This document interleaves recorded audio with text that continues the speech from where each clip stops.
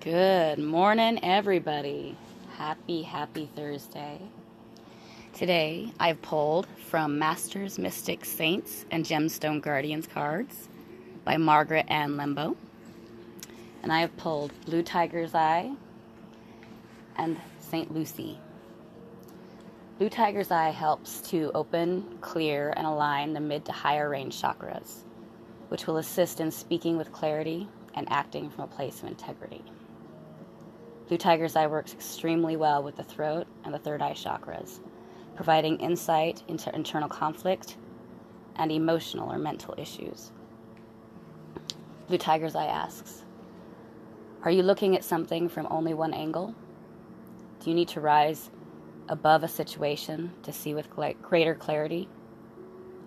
It's time to take steps to gain a new perspective on life. Trust your ability to see things and read situations clearly. Inner visions and dreams are helpful tools for self knowledge.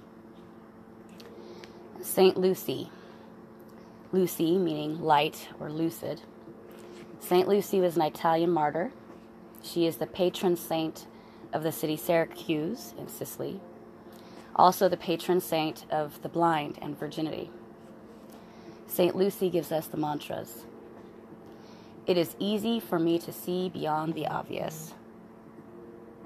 I accurately read between the lines and hear what is not said. I am grateful for the deeper insights and awareness available to me. My higher perspective provides me with safety. I am divinely protected. This is a really beautiful and great card, especially now with all the shifts and, and people coming into new awarenesses and, and just things going on in the world. Um, to be able to speak with clarity and integrity from a place of, of love and, and, and authenticity. To be able to see things that, you know, we really didn't see before be able to kind of read between the lines and understand what has kind of been fed to us for so long and understand what's really being said there. The mantras that St. Lucy gives us, these ones I think are just great for any time, really.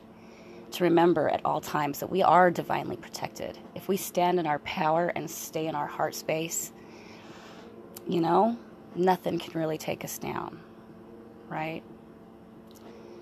So I will leave you with that today and speak in my authentic self and say, I appreciate all of you who come. I love you all. Have a beautiful, beautiful day.